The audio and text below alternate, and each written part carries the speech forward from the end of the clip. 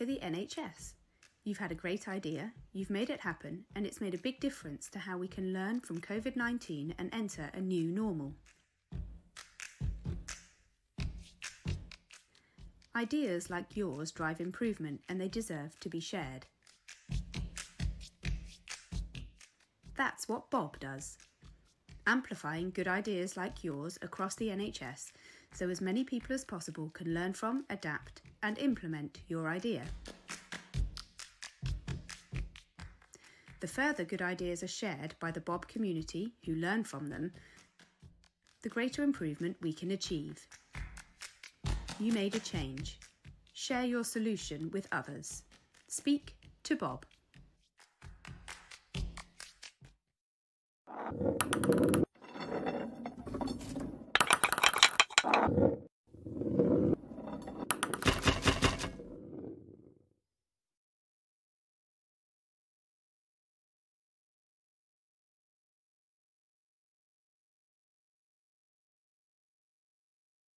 Everybody uh, to uh, our final session of today on the uh, Bob track, which is all about spreading and scaling of innovation and improvement in the NHS. Um, we're very much focused in on that topic uh, here today in the room. Um, I, my name is Neil Crump. I'm one of the co-founders of uh, Bob.health, and I've got two tremendous speakers, um, uh, people I really respect what they think and what they say. Um, so I've got Hugh and Rob, um, who are going to talk about how we drive improvement and innovation, um, the adoption of those to achieve spread and scale within the NHS. So um, I'm going to ask them to introduce themselves in a second, but first of all, I've just got a couple of little things I wanted to run through. So um, first of all, I just wanted to make a, a distinction between um, sort of homegrown improvement and um, which doesn't really have any external support or sort of extra things going into it, versus um, innovation, which is potentially my definition for this session is sort of privately funded things that are introduced into the system to help make the change happen. So I'm not saying that improvement isn't innovative, but there are some distinctions between, you know, uh, making improvements to the system and then introducing an innovation into the system, which is something that's been that's been externally developed and being brought in. So um, the other thing I just wanted to run through is uh, we have a poll. Um, so I'm just wanted to see if that's coming coming up. Uh, I don't see it there yet. So what we'll do is I will um, I will skip the poll for the minute. I'll come back to that. Um, but what I would ask you to do is um, we are there were some tweet people tweeting, so you can uh, tweet on the hashtag Giant 2020 and the hashtag for our track is unpack the how. So unpack the how with a hashtag in front. And Bob's Twitter account is bob.health uh, with spelled B O B D O T health. So uh, spell out the word dot. Um, so um, please join us on the conversation there. So, Hugh, how are you? um, I'm good, thank you, Neil. Lovely. I'm delighted to be here. Thank you. So if you could just um, introduce yourself, um, tell everyone about your current role and remit, and maybe just the, your career path to how you got into this role. Okay, thank you, Neil. Uh, my name's Hugh McCaughey. I'm the National Director of Improvement. Uh, I started this post about 18 months ago uh, in uh, April last year. Uh, little did I know it would pan out uh, the way it has and certainly the, the role has changed probably quite significantly from what I saw at the outset. Prior to this role, I was a chief exec in uh, an integrated trust, uh, health and social care trust in Northern Ireland, and indeed had been working for probably the previous 25 years at sort of board level and various posts. My particular interest and in fact passion is about uh, patient safety and and improvement and essentially making services safer and better that was my particular interest and bent uh, in the 10 years prior to this post i was a chief exec um, in a trust and uh, i spent that 10 years trying to embed an improvement approach uh, into the organization and I said at the outset of of uh, when I was appointed, in fact, I said at my inter- interview, if you appoint me, uh, I will want to change the way we judge success and try and build a different way, which had improvement embedded into the organization. And uh, that's what we spent 10 years doing, and our results were really good. We, we, we didn't set out to fix performance, but by embedding an improvement approach in culture, we moved to being sort of first or second in virtually everything in Northern Ireland. Our reference costs were low. Um, it, uh, our staff satisfaction results were really high.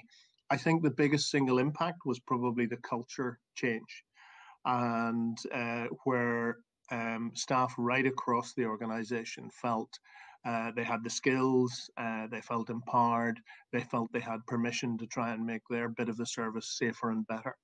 And we had a little mantra, which um, is one which I, have sort of brought with me, which so there were 10,000 staff in the organization. And we used to say regularly that the idea that the top sort of um, 20 or 30 people had all the answers and could see all the solutions is a nonsense. And actually, if we could harness the 10,000 minds or the 10,000 pairs of eyes to see how we could make our services better, we would be much more powerful. And that's essentially what we set out to do, which was to try and change the culture and the whole approach in the organization. Not long before I left, I visited a ward where um, every band three was trained and was leading a, a, an improvement project. So your your sort of healthcare assistant or your uh, that that sort of level was leading um, and felt empowered to do it, and the sense of satisfaction people get from that. So in long story short, um, in essence, the reason I took up this job was to see can you do that? Can we do it with 1.3 million people? Can we embed an improvement approach and culture right across the NHS in England? Because I think a lot of our frontline staff, frontline staff, feel beleaguered, feel like uh, there's an awful heavy uh, focus on assurance in our system. And I think we need to rebalance that with a culture of improvement. So people, we go back to people feeling they can, they have the skills, and they're celebrated and supported whenever they, they make their service safer and better. That's amazing. And um, I, I will pick up. I, I had not picked up on the fact that uh, your previous experience was integrated health and social care. So maybe I might pick on that. And if actually anyone in the audience has any questions about that integration because obviously we're not terribly good at that within uh, England. Uh, I think better in Scotland and obviously in Northern Ireland. But um, if anyone has any questions about social care and how you link that in, um, please send those in. So thank you. So now, Rob uh, Berry, would you like to introduce yourself, your role, and how you got to this post? Certainly. Thank you, Neil. Thank you for inviting me to be part of today's session. Uh, so I'm called the Head of Innovation in Kent, Surrey and Sussex Academic Health Science Network. Uh, what that means in practice is I spend a lot of time talking to companies. Um, uh, so myself and a small team deal with the sort of first contacts of companies who approach uh, our AHSN. And we provide uh, twice monthly briefings, a little bit about uh, the NHS, some of the challenges you'll face, uh, the sort of support services AHSNs might give you and how we might signpost you to different agencies and programs across the uh, innovation landscape. Uh, there's one of me per 15 AHSNs that covers England. Uh, collectively, we're known as the Commercial Directors Forum. Uh, in that sort of forum, we pick up some of the national work. So I'm involved in uh, what's called the Program Development Group. This is looking at out of those 15 AHSNs, interventions that have been developed locally uh, may have a national application. So we're involved in collating and curating those to turn them into national programs. Uh, in that role, I've supported the drafting of a framework around real world evaluation, real world validation, which I'm going to talk about uh, in more detail later on, but an essential step to supporting scale up. I've been involved in the Small Business Research Initiative uh, as a board member. It's a NHS England program that invests about 10 million a year uh, to develop new uh, technologies uh, to address known challenges. Um, and I'm also involved in helping the Accelerated Access Review, sorry, Accelerated Access Collaborative um, develop innovator services um, nationally. Uh, how did I get into this? So some years ago, not quite 30, um, I joined the NHS at Great Ormond Street Hospital and worked in typically uh, acute provider organisations for about 17 years. And in that role, it's a general management role, supporting frontline uh, services and support services, clinical and non-clinical, to improve. So often this comes down to understanding how are decisions made, uh, how are the books balanced in order to support those changes. Um, shortly after uh, leaving, I think it was uh, Guy's and St Thomas's, I was working in the Strategic Health Authority in the Southeast Coast, as it was called then, uh, similar territory to Kent, Surrey and Sussex that I'm in now. Uh, and then uh, three years after that, started in an academic health science network. I was involved in the development of the uh, guidance that supported the national rollout, so involved in some stakeholder engagement uh, around the development of AHSNs and have been there for the last eight years.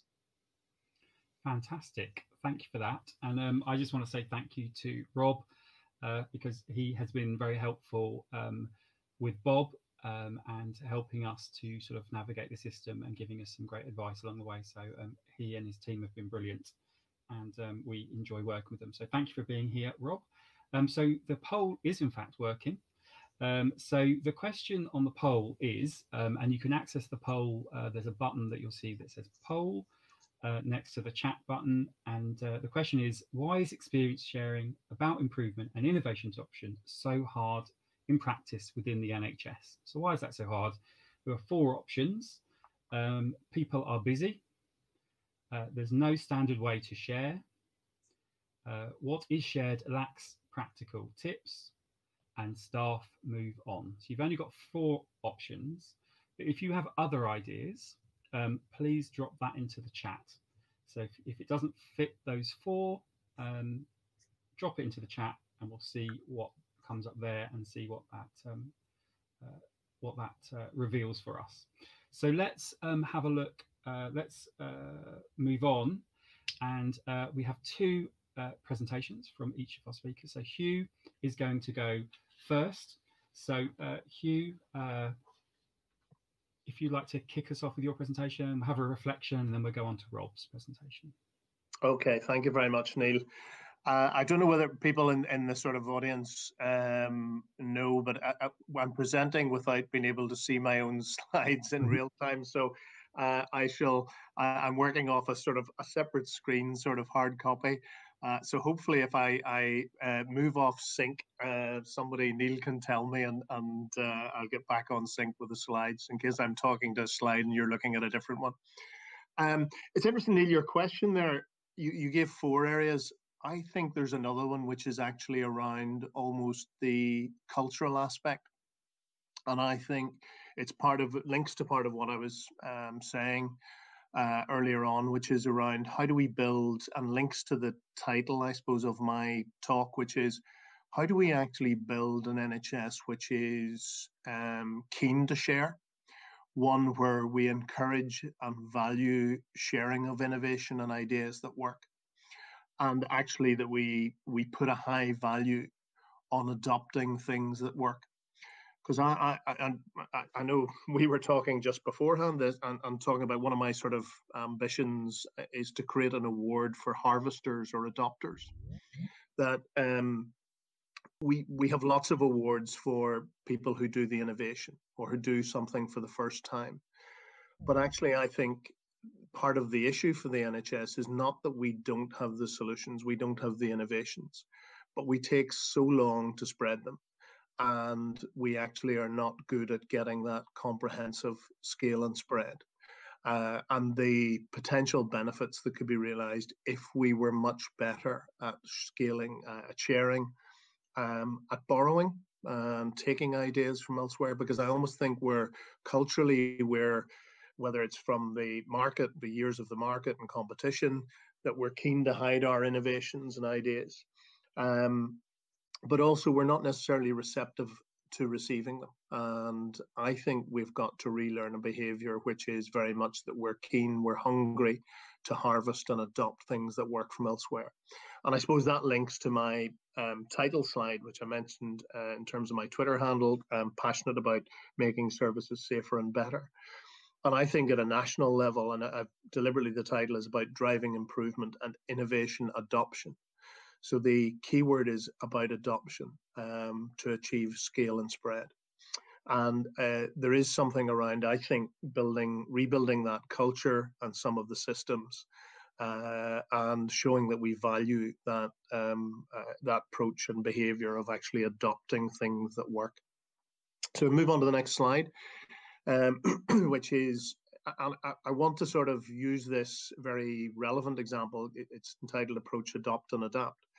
And it's a very relevant example. I'm not going to go into the, all the detail of it, but it was the process we used um, in uh, through the sort of um, early uh, stages in the, or in the last few months as part of the sort of uh, recovery uh, from wave one and was um, what we had termed uh, was a term the adopt and adapt um, process, but essentially is a rapid improvement cycle um, where, on the basis of a sort of pulling together the knowledge we have and the ideas we have around a challenge, taking one area. In in this case, um, we had an, each region taking one area, um, whether it was outpatients, whether it was uh, theaters, whether it was um, diagnostics, and working up what was the best way, what needed to be done to maximize our recovery.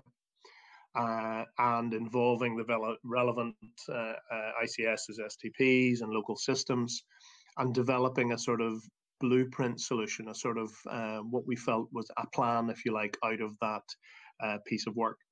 But then sharing and collaborating that with the other regions so that um, the work done in, for instance, the Northwest on outpatients, that blueprint, we didn't have seven consecutive or seven sort of um, uh, workshops going on at the same time, trying to find the solu- same solutions uh, to the same problem and potentially coming up with slightly different. But we had one it done in one area, potentially, and we did have with some where other other regions attended or other systems attended and then we we shared that and had a system for sharing that and uh, had but had built in the sort of local ability to adapt that to a local circumstance. So it may be very different in the southwest, or it may have some difference in the southwest from London, for instance. Um, uh, but the overriding principle was one where we were collaborating and sharing so that we were finding building on the improvements and building on the plan rather than re- reworking and finding uh, the same solution a second time. If we could move on to the next slide, which should be entitled the Improvement Directorate. Um, and th- this is a piece of work we've sort of been doing over the last number of months to say, well, what is the role of the um, National Improvement Directorate um, uh, in a sort of post-COVID world, and looking at what are the big objectives for us. And I, have essentially distilled this into three areas. Um, the first being the sort of recovery piece. How do we actually use the skills, the improvement skills that we have? Um, and particularly, we have a, a, sort of lead role around diagnostics and outpatients. How do we use that sort of um, work, things from the National Outpatients Program and Diagnostics Program? Uh, and how do we use the other sort of work we're doing with areas like GIRFT, for instance, um, to help recovery? Um, and a big part of that is sharing the learning around what works, um, sharing the innovations, sharing the improvements that we know um, will work, using data to identify where those opportunities exist, um, and then supporting the local um, area and systems uh, with that recovery. The second area is is entitled, as you can see, productivity. But this is this is a bit like you, know, you will remember. Some of you will remember the sort of the artist formerly known as Prince. Um, well, this is the sort of um, uh, national program formerly known as productivity, because um, I think at this time, if you talk to frontline staff about productivity, it means you know cost cutting. It means um, sort of taking money out. Uh, it means sort of driving already busy people even harder uh, because we have to get our productivity up. But in actual fact, um, the, I believe the approach to um, which works is if we focus our attention on getting uh, if you like, that that embedding um, improvement uh, and embedding pathways much more consistently.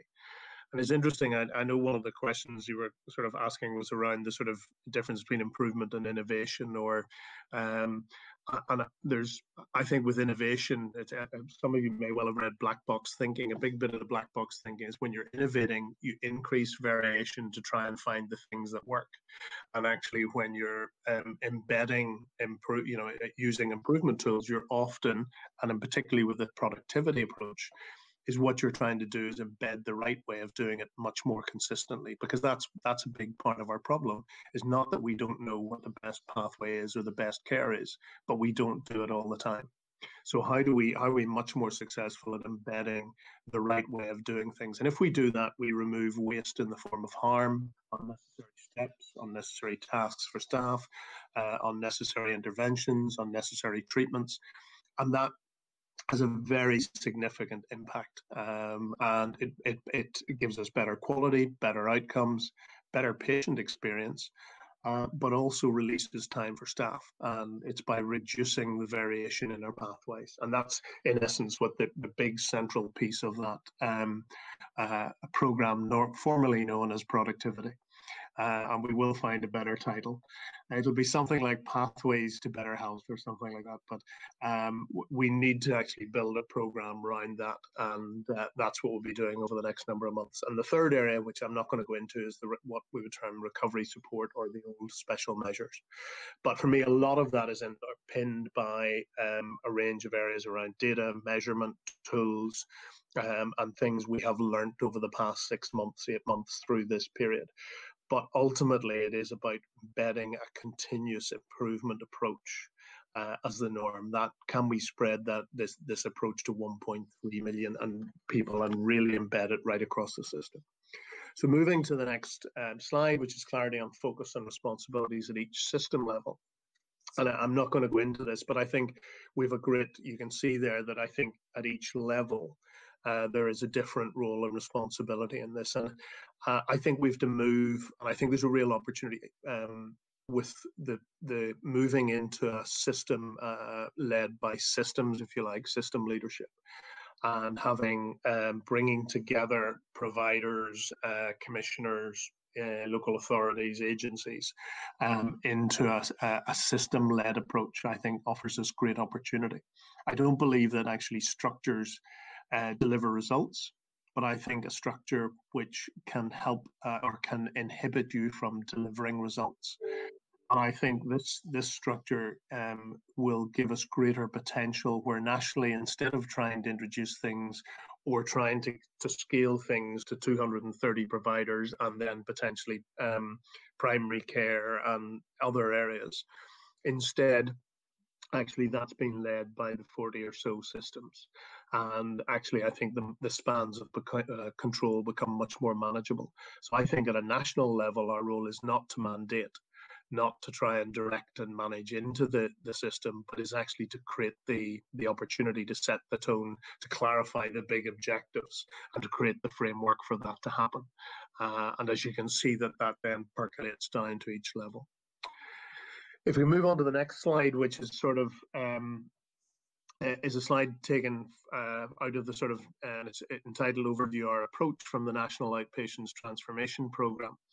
And uh, I, I, think it sort of captures what we're trying to do now at a national level is not to mandate here is the way to do it, but is actually creating the guidance, the tools, the resources, um, uh, and bringing together the relevant stakeholders to, to help to um, identify what are the optimum pathways, what are the tools that are useful, what is the best practice, who's doing well, what are they doing, how can we create the framework for that to be shared. And then, if you like, the middle box is around the uh, the implementation of that and testing of it. The local adaptation has to be based at a local system level. Uh, and then on the right hand side is is very much the sort of um, basing that in a number of specialties where we will prototype. And I think for me, um, the approach we're likely to take next year is is focusing on a small number of specialties, but trying then to to really get because this isn't just we haven't done it before. No country has really internationally yet has embedded, um, taken a system of embedding pathways and made it work at scale. And so what we want to do is actually sort of model this and prototype it at two or three uh, specialties or pathways so that we can actually demonstrate that the methodology works. And I think the time has never been better uh, to do it. If we could move on to the, the next slide, which will be very briefly, and, it, and it's a sort of, uh, it's a graphic. And for me, this is how will this work is now at, at um, four levels. Um, the first, which uh, I shared with actually a group this morning, and, and they probably quite rightly said the digital transformation piece at the top should actually probably be right at the bottom and underpinning everything we do. Um, I, I, sort of described it as overarching, but actually, I think there's a strong argument that it's underpinning. We need digital um, the, to use the digital tools uh, to enable us um, to make the transformation we want right across the system, and it, but it, it should be embedded as business as usual. The second level, which is what I've just been talking about, the national programs or interventions and optimum practice um, guidance. And I think in the past, each one of those boxes, the sort of workforce diagnostics, outpatients, the national programs, have all been working inside, you know, in silos. So we try to manage the diagnostics down into the system across 230 providers, or or um, cancer down in across all the, the, the system. And actually, if you're on the receiving end, you have all these national programs and optimum guidance coming at you and the ability our ability then to get those all of those things embedded um, has been effectively um, compromised and, and hasn't been that successful the third level is actually what we're intending to do is uh, to take the those things and in the way we talked about the rapid improvement type approach is in a particular uh, system is um, uh, to embed that into a pathway. So they, they're uh, taking the clinical pathway and designing it based around all of the interventions so that the path it's the pathway that we're then adopting, not each of the um, separate programs. And the bottom piece is very much what the optimum pathway should look like, but will be implemented and owned at the system level and the ability for us if we for instance on this one um, uh, if we look at something like uh, ophthalmology if we embed the different things that we could do uh, particularly around you can see there the advice and guidance patient initiated follow-up uh, the interoperability um, uh, with optometrists and opticians um, we have roughly 8 million outpatients at the minute um, we can offer a, a different way to do that for um, somewhere between a quarter and a third of those patients so that we can do it in a different model. And that's the prize for us. Could move on to the next slide. Um, this is a slide about um, it's much. I'm not going to go into the detail of it, but it's one which um, uh, uh, Helen Bevan would use a lot, and uh, it's sourced from Henry Timms New Power and it's actually about the approach and it goes back right back to the start of what i said is the old power was was essentially a sort of top down um, uh, approach. It was about command and control uh, authority was held by a few and it was pushed down into the system. The new power and, and this is researched um, uh, and Henry Timms talks about um, the sort of new power in the 21st century, but you will also see lots of other academic uh, papers and you will see the best organizations in most sectors now are ones which are agile, ones which have empowered staff, ones which have um, clarity about the objective and the outcome that we're wanting to achieve. Uh, but people right throughout the organization delivering on, on objectives much more horizontally.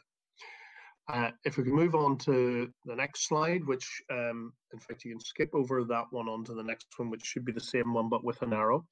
And this is a slide from uh, I, the Institute of Healthcare Improvement. And it actually talks about the journey we've been on around um, and three, um, talks about the sort of three levels, or three um, uh, uh, sort of loops in this journey, or three steps in the journey and almost coming from a culture where we've uh, performance management and heavy assurance and it's actually about almost retaining power at the center and it was very much the noughties and even the 90s uh, that that that emerged and, and became very prevalent. We've had a period now over the last five years or so around, uh, and longer for some organizations, around uh, quality improvement, where uh, and what might be described as sharing power um, in organizations where we're trying to, what I talked about, about trying to empower many more people in the organization. Um, but the third um, step in this journey is very much around how do we actually co-produce and mobilize social action much more with people, um, patients and staff. And if we can move on to the next um, slide, because that leads me into what I describe as um, reciprocal innovation and um, the, the practice, if you like, of exchanging um, insights and, and learning and ideas um, for uh, virtual um, uh, or sort of for, for benefit and improvement right across the system. And the potential for us to shift the uh, relationship, particularly with citizens, and to engage citizens, which, if you relate back to the IHI model, is that third curve that they talked about if we could move on to the, uh, and sorry, just in the middle of that graphic, you can see the traditional um, sort of innovation led by experts is quite a narrow funnel. It's a typical sort of innovation um, uh, journey. And the one which on the right is one which I'm going to say a little bit more about, um, but is, is this idea of, of co-producing and engaging citizens much more and uh, the idea where you can broaden that funnel and actually uh, engage many more people in the innovation and have greater opportunity for that to be embedded. We, um, in a, uh, if we can move on to the next slide, we used that um, approach with in the early stages of the COVID outbreak um, to uh, look at in particularly laboratory testing uh, how could we upscale our testing? As you will recall, how could you forget um, the desire to increasing our testing levels? Um, and so um, we took a, used a platform uh, called crowdsourcing, where we went out quite openly um, and offered with industry, um, with with some champions um, on a sort of social media platform where people could uh, put their idea in. People could add to it. People could discuss it. People could, and it was a very open platform. It was very agile, and we literally got hundreds of ideas. We'd we'd five problems we'd set that we needed solutions to, and invited people to come. And if you think about that versus the the NHS's traditional approach for generating innovations um, and building on them and implementing them and the result was we had quite a number of those ideas went to went into production within a matter of weeks um, and added to the sort of testing levels that, that we had. So very powerful in terms of um, uh, an agile innovation um, sort of approach.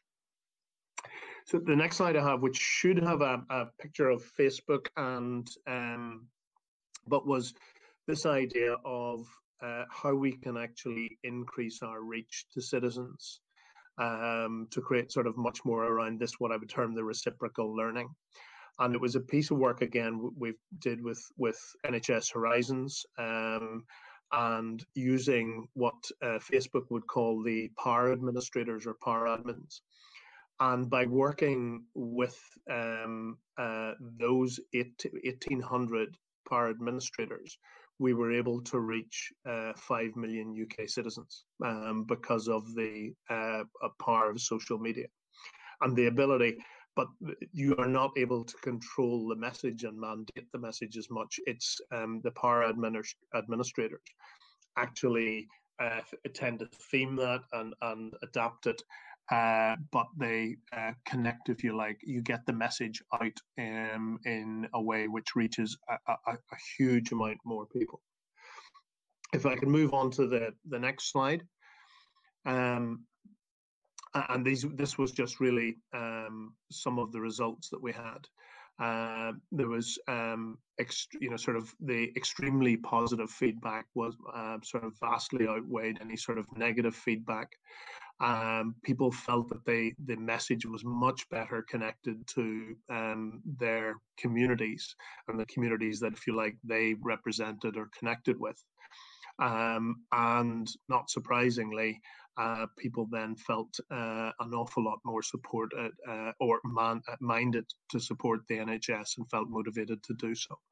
And so, as, as a new platform for us moving away from the sort of traditional engagement process i think there was quite a bit of uh, of learning uh, uh, as the title was saying reciprocal learning if we could move to the next slide which i hope if i'm keeping pace with what's on the screen um, is a picture of a woman called Maureen Bisognano, who's one of my leadership um, sort of, uh, she would be a leadership role model for me. Um, and uh, has has been involved in improvement work and, and patient safety work for uh, probably uh, over 20 years now and uh, incredibly value driven leader but Maureen, one of the things Maureen talks about, uh, which is um, something I agree with very much, is that everyone in healthcare having two jobs.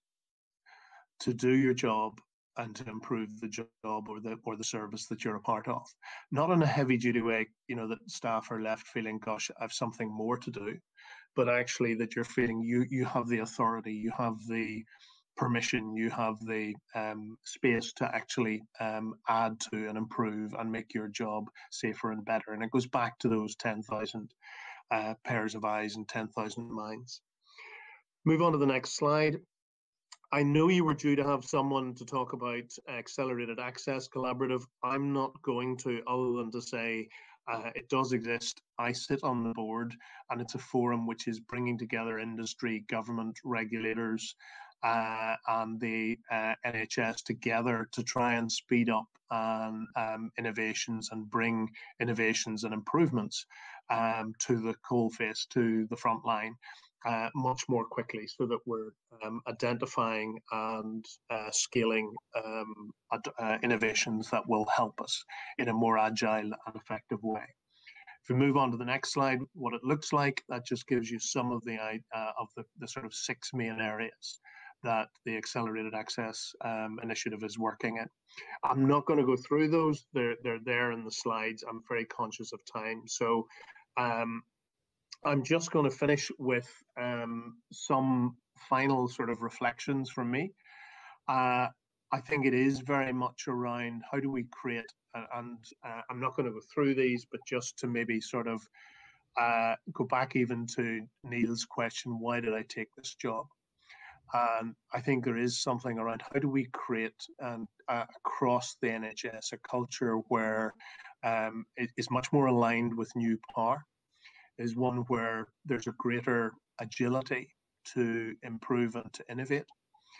And uh, we have a sense of the balance between assurance and improvement. And if you like, we're trying to harness the 1.3 million minds and 1.3 million pairs of eyes. Because if we do that, um, delivering on the objectives in this new power model, we will bring innovations uh, to the front line and the benefits of those innovations and improvements much more effectively um, with all the benefits that we'll get from that. Thank you. Thank you very much, Hugh. That's awesome. So um, I think what's lovely is you can definitely tell that you've done this as a job. So it's not just a lot of uh, theory. You've been at the front line, you've rolled up the sleeves, you know what you're talking about. Um, just I do think the cultural piece is hugely important. That kind of the new power, and just people who, as you, you kicked off saying, you know, people are feeling a bit downtrodden and exhausted, and asking people to do more. But I think obviously people get a real buzz from from making a positive change in the system, and I think that um, you know we really do need to celebrate people that go the extra mile, you know, and, and really want to make the difference. Um, I just want to flag tomorrow uh, we have a, session at 11 o'clock. So for people listening, if you scroll down on the, scroll down the screen, you'll see tomorrow at 11, we actually have a group of NHS frontline staff, uh, a, a, real mixture of people from medical student through to doctor to um, uh, talk um, about practically how you go about sharing and, and, what are the barriers and what encourages you. So real looking at that cultural piece from a frontline perspective. And at midday, we have um, a team uh, to speak um, about kind of the theory, the theories behind uh, sharing, what, what encourages people. So you've got a digital sociologist, um, behavioural scientist, um, and some other um, experts to talk about these topics. So those will be really interesting and be give extra flavour to what Hugh's been talking about. So thank you, uh, Hugh. Um, Rob, I don't know if you've got any any reflections ahead of your presentation on what what uh, Hugh just said. Uh, yes, very very briefly. Um, uh, great to listen to Hugh uh, talking about the work of uh, NHS improvement. So, what what stood out for me was just how vast the challenge is.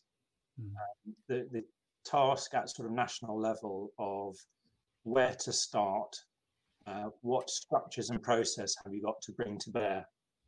Um, great that uh, re-emphasised as we do in our um, briefings to companies, uh, the number one priority is patient safety. Um, so again, just just great to hear that sort of message being reflected out in terms of the poll, I, I, had a slightly different view, and I was um, reflecting on our sort of role as AHSNs. Uh, the innovation landscape or the improvement in innovation landscape is huge, uh, and and sometimes when you're in dealing with a particular part of it, you have a strong view of your particular perspective. And I'm hoping I'm not going to contradict anything that Hugh said. I, I agree with everything he said. It's just sometimes when we're focusing on as I will later on, technology, there are slightly different rules occasionally that come into it. My, my thoughts on your poll uh, was uh, linking into Hugh's comments about sort of culture. Uh, and in our briefing, we, we refer back to the Health and Care Act of 1990. So we've now had 30 years of what a process that started with that act, which was focused on organisational efficiency. So the main point of that act 30 years ago was to get people to own their organisation, and we've had successive sort of policies, including around trusts and foundation trusts, that have driven the ownership uh, and responsibility for organisations, not systems. So we've done very well at driving up organisational efficiency. Um, and I think now is a good time to look at, and so I think Simon Stevens has had for some time a vision of how we need to join back up elements of the system because there are things that when you only focus on your organization you are less likely to do other things that might bring about um, other benefits so i think that sort of is that culture or, or, is it just a sort of systemic issue around the structure of the nhs i thought that that might be in the poll somewhere and then particularly when it comes to technology but I think not every technology is generalizable everywhere. So Hugh was talking about how uh, a lot of things are generalizable. I think when you come to technology and the issues around finance, affordability, both from an NHS and a commercial perspective, actually doesn't sometimes limits where an intervention will work and, and will be wanted. Uh, again, those sort of subtleties we cover in our briefings and all the bewares, we know what is likely to go wrong with um, interventions and we can run through a checklist roughly when we hear what you've got to offer to show you and identify for you uh, as a technology company where, where you might be frustrated by the NHS. So I enjoy listening to you. Thanks for that. Cool. So thank you. I mean, I think the, the scale of what, what we're talking about is is immense. You've got 1.2, 1, well, 1.2, 1.3 um, full-time equivalents, and it's a lot of people, a lot of pressure, um, but obviously, it's all about you know it takes you know one, two, three, four, five people to start the ball rolling, um, and so I think it's you know is a challenge that we can meet, um, and obviously Bob uh, is hoping to make, play a small part in that, helping people to to uh, share their stories and, and everything else. So let's have uh, hand over to Rob and his slides. So just to let you know, Hugh, I'm informed the slides went beautifully. So, uh, Rob, you can go uh, confidently into your presentation, knowing the slides should progress in time. So, uh, over to you. Uh, thanks again, Neil. So, um, today I'm just going to talk a little bit about uh, uh, a section of our briefings that we give to companies twice a month. So, if anyone is interested in hearing more about the wider offer of AHSNs, they'll be starting in January. More than welcome. I'm, I'm picking up, in part because of the theme of today, um, but also it's a, an important differentiator in terms of the companies we uh, would like to see more of. Talking about what will help you to get to scaling up. So uh, I might talk a bit about pilotitis later on, but we, we do attract in a lot of very early stage uh, innovators, um, but we also have an offer relevant to late stage where companies will still struggle. Uh, and we have, again, some, some insights as to uh, how you may get around some of those challenges, uh, which I'll come on to in a bit more detail.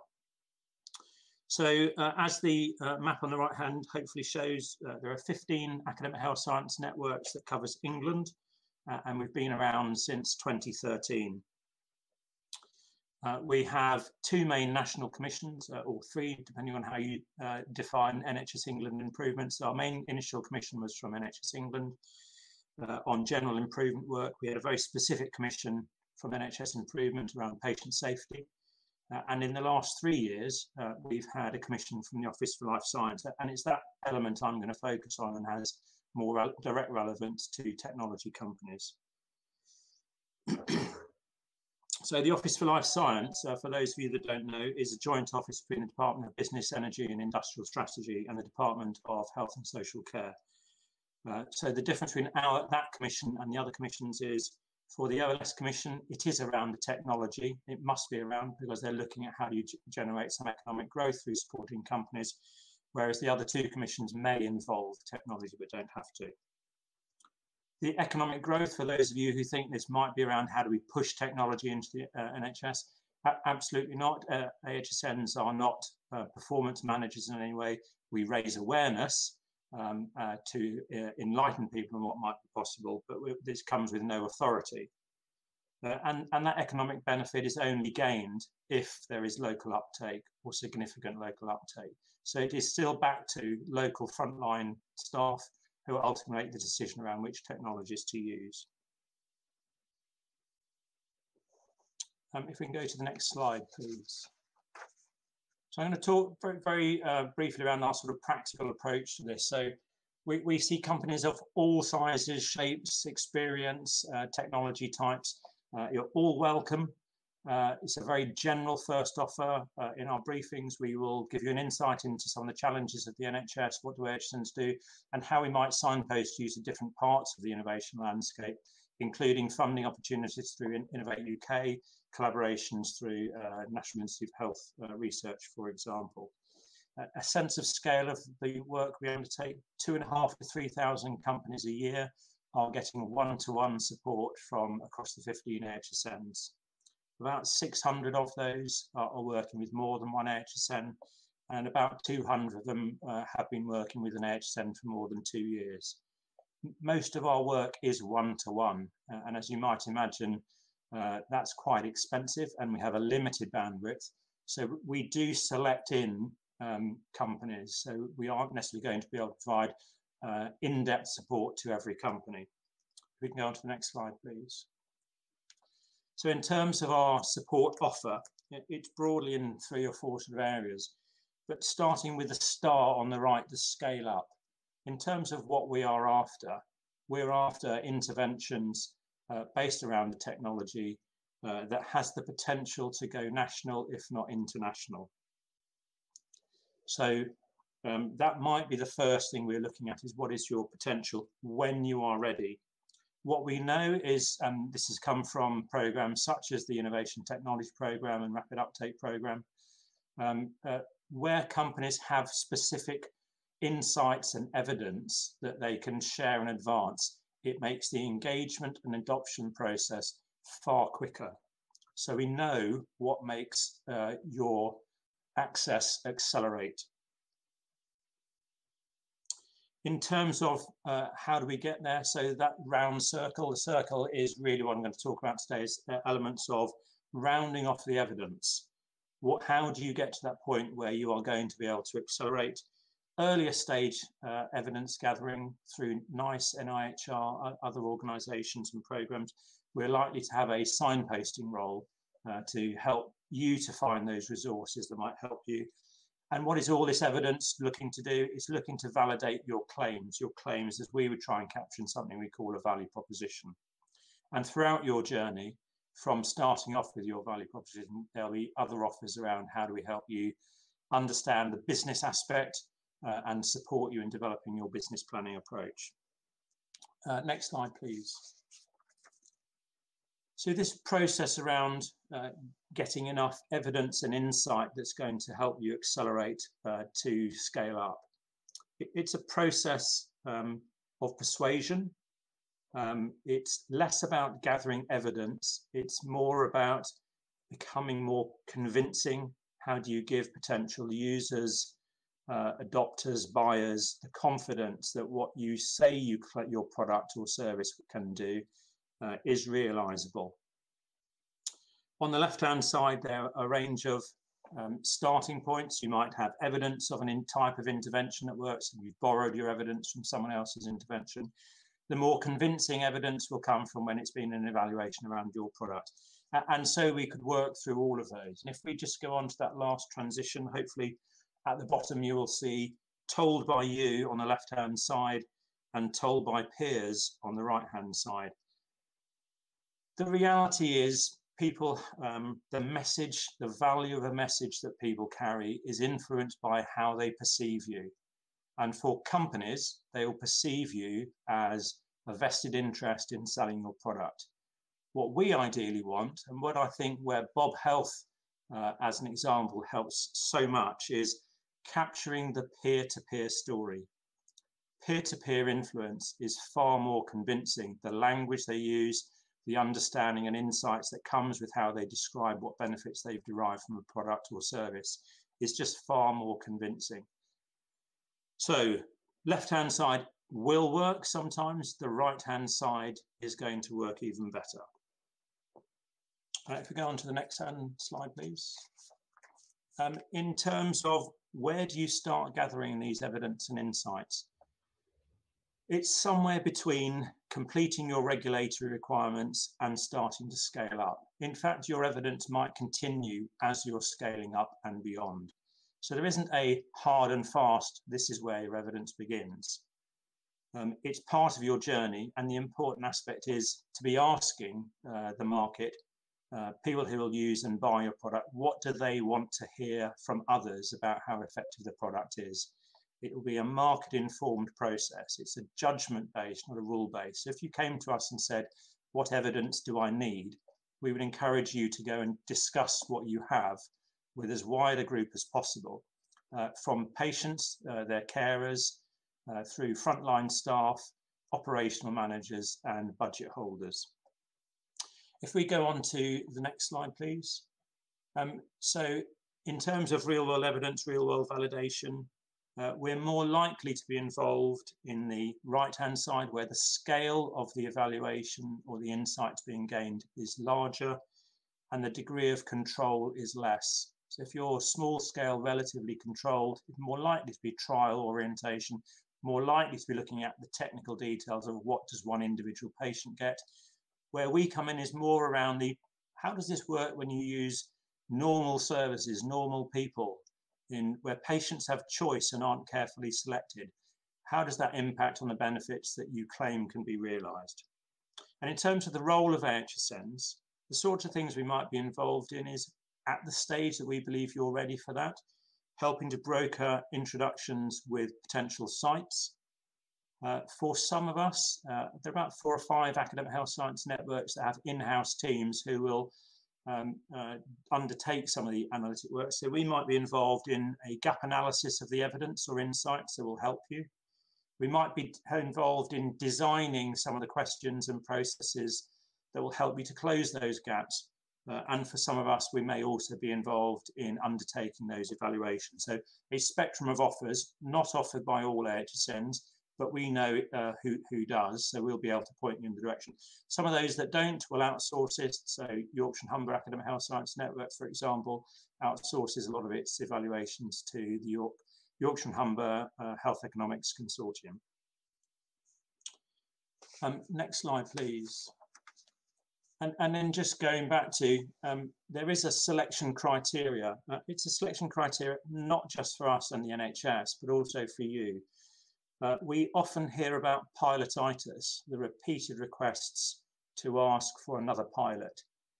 um, just be aware that um, it does happen. It happens for a variety of reasons. But the main question we would ask you in terms of before you set out to undertake an evaluation is, is it going to make a difference to the uptake of your product or service? If it isn't, don't do it. Come and seek advice and uh, look at how we might help you. Is this an indication of the market saying they don't really want you? Is it an indication of the clinicians may really love what you want to do, but they may not be able to afford it? And it's not right or wrong, it's just going in with your eyes open as is this going to help your business? And we think if we address this one issue, it will reduce the criticism of the NHS around pilotitis. If we go on to the next slide, please. The sorts of things that you might therefore produce, uh, bearing in mind you won't get to a real world evaluation until you've got that patient level uh, evidence. Case studies, particularly around the financial information, so uh, budget impact model, not a cost effectiveness, although cost effectiveness may be important. But from a frontline service, what they'll need to know is how do I afford you? What do I need up front to be able to make this work? And not every organization will have that upfront cash. Um, anything that might help around the procurement process uh, and so on. So it's not that this all needs to be done because it, you'll have to find out from the market which elements do they need. But this is just a sort of checklist around what might help you. So just in summary, uh, today's a, a, snippet of what AHSNs can do to support you, particularly towards that scaling up phase, which we're very interested in doing. Uh, it's part of an existing process that we run. Um, we run briefings twice monthly You'll find most of your work with Academic Health Science Networks is on a one-to-one basis. We share information between us, so it will help you to fill in that form once and then we can share you more quickly. Uh, and generally AHSNs are there to help. I uh, look forward to catching up with many of you at some point in the future. Fantastic, thank you. Um, so um, one of the questions I wanted to ask, I'll just pose a question that's come in from um, uh, one of our participants. Um, so they're basically just basically flagging, you know, it's a huge organization that we need to transform, you know, 1.3 million staff, it's a huge undertaking.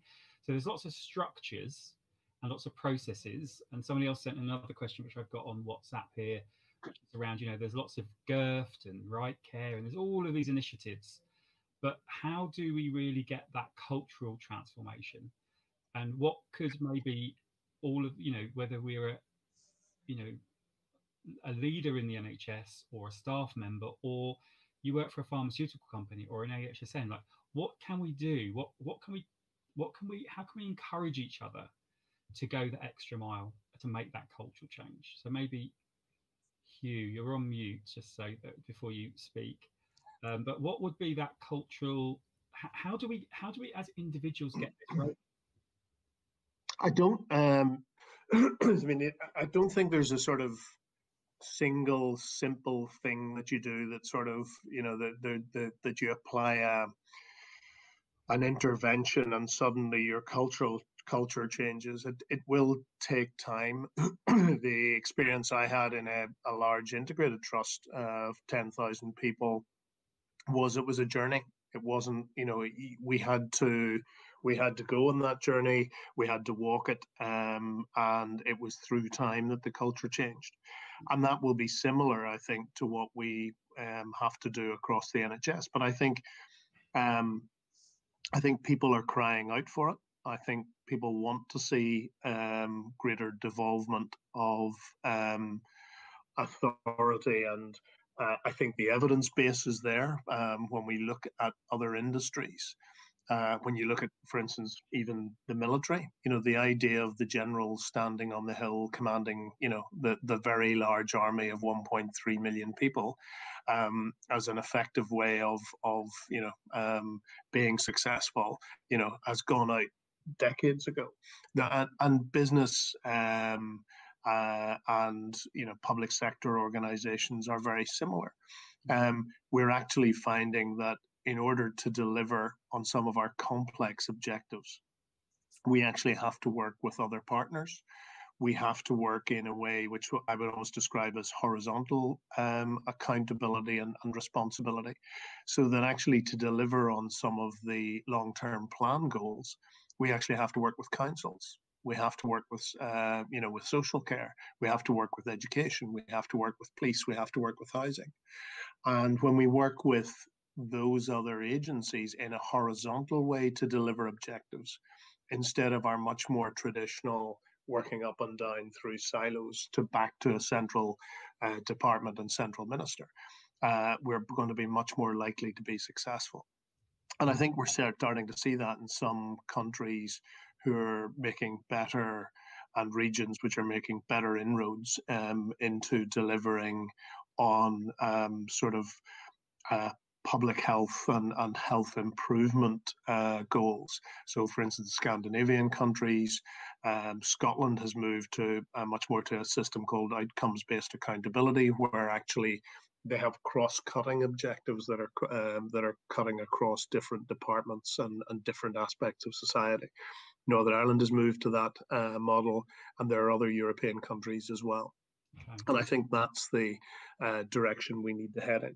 But I think from a leadership point of view, we also have to be very clear that we have to uh, we have to model these behaviors. We have to ensure that if we're going to embed the right culture um, and a transformational and improvement culture, then we have to support that. We have to put the framework in place. We have to be um, um, resilient and persistent in supporting it. Uh, I had an old boss and mentor who you know used to talk about um, leadership is is um, you know sort of 95% perspiration and 5% inspiration um, because actually embedding a different culture it is about being relentless in terms of reinforcing and, and um, that that's the way we're going to do things but also being authentic to it that we don't say we're going to have a bottom up culture, but um, then the first time we have a sort of um, a crisis or an issue which isn't being delivered, that we revert to command and control. Um, and I, I, think we've we've to learn those new behaviours, and it will take time. Uh, but I think I mean there's very clear um, uh, intent at the sort of board level at national level to want to make that journey. I think quite a number of people who've been appointed have come from that sort of background or that belief or that value system.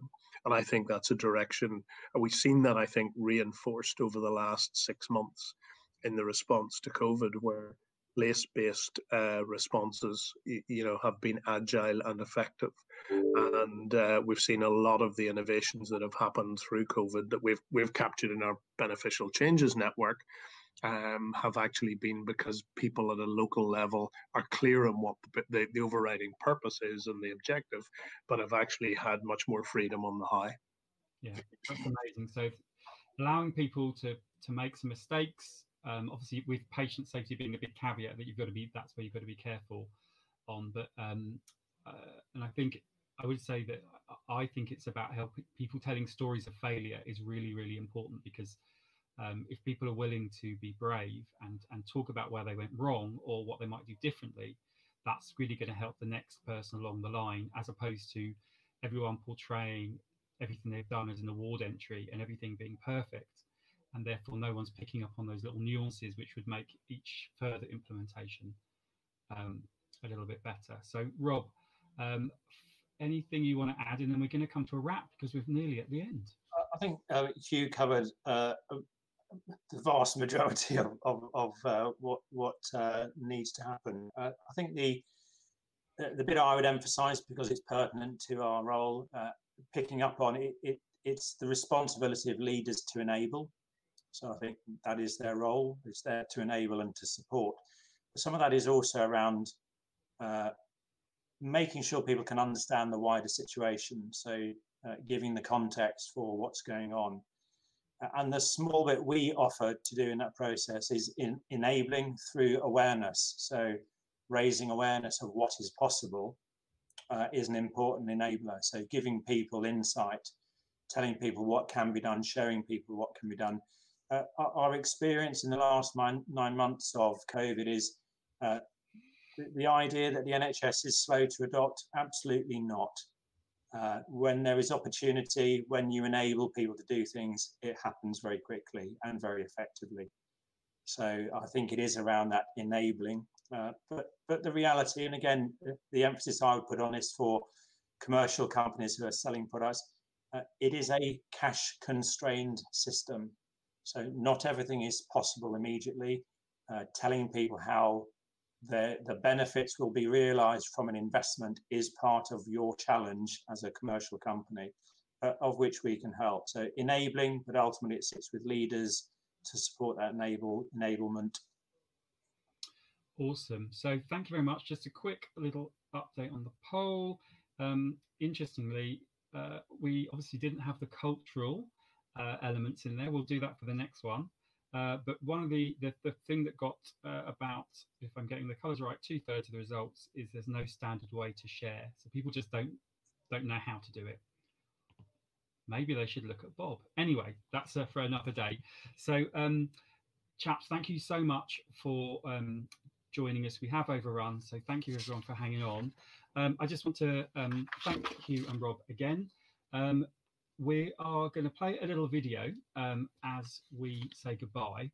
Um, so the first time I spoke to uh, Hugh, um, he talked about that, well, that point he made earlier around um, us need to sort of being um, the harvesters. So it's the adopters. We should be celebrating the adopters, not just the innovators. Um, so, and he mentioned this. He, he, said, "Do you remember that clip from a long time ago that went around uh, on email? It was even early days of social media. So 2009, you might recall um, a, a, clip with a guy dancing on a hill. Um, he's at the um, Sasquatch uh, Music Festival in the US. There's a singer called Santigold singing a song called Unstoppable. And um, you see this lovely man dancing, and then slowly the crowd comes together. And um, Hugh sort of flagged that to me. So I think that's what we need to celebrate is people coming together, us all being unstoppable when it comes to um, uh, improvement and adopting innovation. So um, we'll say goodbye and um, play the video. It was probably on an iPhone 4. The sound's a bit scratchy.